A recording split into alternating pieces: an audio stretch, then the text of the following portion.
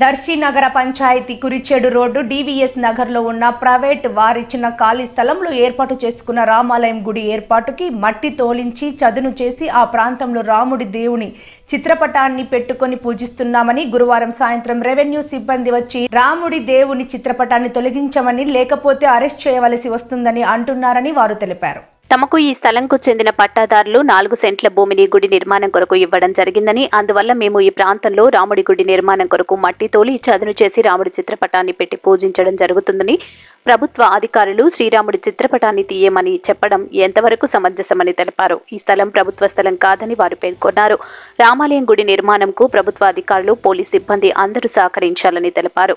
ఈ ప్రాంతంలో ఇరవై ఐదు సంవత్సరాల నుండి సుమారు నూట యాభై కుటుంబాలు నివాసం ఉంటున్నాయన్నారు. నా పేరు అప్పిసి టంకారావు మాది జీవేసినారు ఏంది?